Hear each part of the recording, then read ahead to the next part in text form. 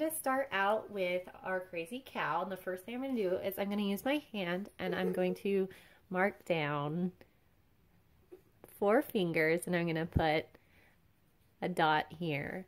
Sorry for the noises in the background. Kason thinks the dogs are funny. But I'm going to use a stencil, something that you have that's round. I have this um, color wheel here, but if you have a round bowl or something that will work about the same size, I'm just going to use that for the circle. So I'm just going to make a circle from where I put my dot. So this is going to be the cow's head. I'm just going to go around. I like to use stencils when making round shapes. It really helps. So I've already got my head here and then I'm going to put the body. So I'm going to go like I'm making a circle or oval.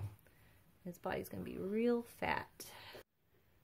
Okay, so again on the other side, make that just a kind of a, an oval shape that kind of stops at the end of your paper for his um, really fat cow body. And then we're going to put two hills down here. So those are his hoofs. One and two.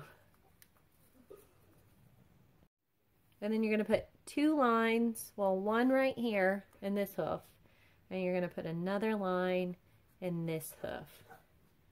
So the next thing you're going to do is you're going to make a rainbow or a hill shape.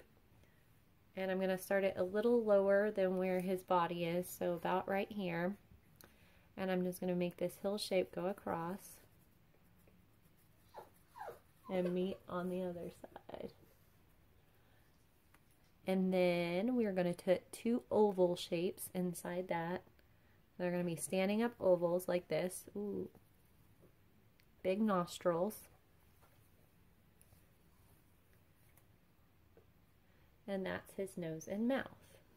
Okay, so next we're going to do the eyes, and I'm going to use circles. We're going to use a few different shapes of circles. So I'm going to use my stencil again. If you don't have a stencil, that's fine. Just draw your circles in different um, sizes.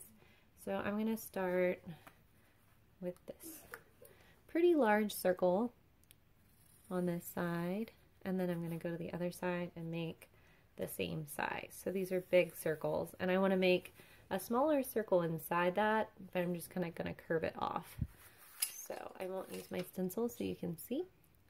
I'm just going to make a curved circle in here and a curved circle in here and then I'm going to go in and make a smaller circle. So I'm going to find a circle that fits.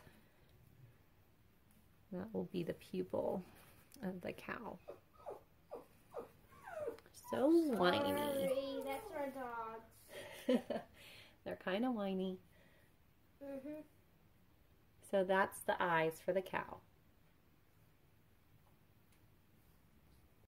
Our next step is the horns. So you're going to come to the top of the head and we're going to make kind of a curved triangle or a cell shape.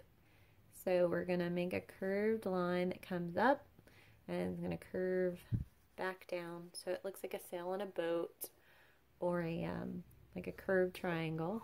And you're going to do the same thing on the other side. Then we want our ears to be kind of floppy so I'm going to make like a, a squished oval shape coming down below the horns. Like a squished oval shape. Doesn't ever reconnect. And then I'm just going to make a smaller shape just like that inside the bigger shape. And I'm going to do the same on the other side.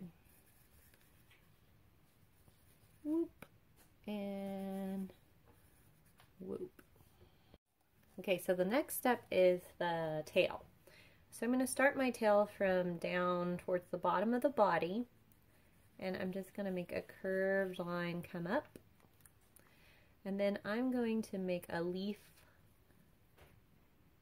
shape or teardrop or water drop that's going up just like that. And then I'm going to connect it and then I'm going to make another line that follows the line we did before. And it's just going to come down here to the bottom.